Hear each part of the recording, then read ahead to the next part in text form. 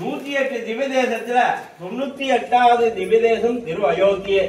பிருந்தாவனம் எப்படியோ அதே மாதிரி திரு அயோத்தியம் நூத்தி எட்டுல ஒண்ணு. ஐந்து ஆழ்வார்கள் பாடியிருக்கார். நம்மாழ்வார் பெரியாழ்வார் தொண்டரடி கொடியாழ்வார் திருமங்கை ஆழ்வார் குலசேகர ஆழ்வார் யோகி சிங்கம்மாள் பார்த்தசாரதி அப்படிங்கிறவா நம்மள மாதிரி வந்தவா.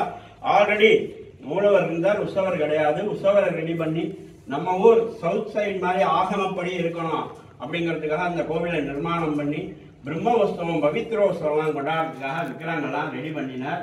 பண்ற அன்னைக்கு இப்ப நீங்க சேவிக்க போற உற்சவர் நான் திருப்புல்லானியில இருக்கேன்.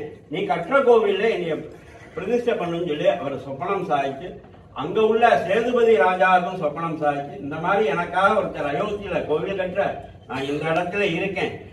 நீ அவர் வந்தோடனே ஏழை பண்ணி கொடு ஏழை பண்ணி கொடு அப்படின்னு சொல்லி ஆயிரத்தி தொள்ளாயிரத்தி நாலுல அங்கேருந்து எடுத்துன்னு வந்த பெருமாள்.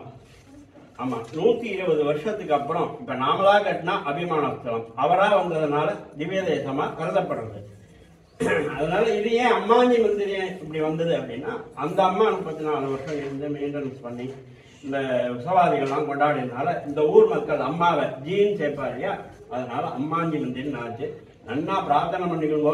இந்த பிரம்மார் எல்லா அனுகிரகமும் எல்லாருக்கும் செஞ்சுட்டு இருக்கா அதனால நன்னா வேண்டிக்கோங்க. என்ன உங்களுக்கு பிரார்த்தனை இருந்தாலும் வேண்டிக்கோங்க. இந்த பிரம்மா நிறைவேற்றி வைப்ப ஒரு பத்து பத்து பேரா வாங்கோ. ஆர்த்தி காமிக்கிறேன் சேவிங்கோ. ஆர்த்தி எடுத்துக்கிற வழக்கம் இருந்தா எடுத்துக்கோங்க. இதுதான். ஓகே. ராம் ராம். ஜெய் ஸ்ரீராம்.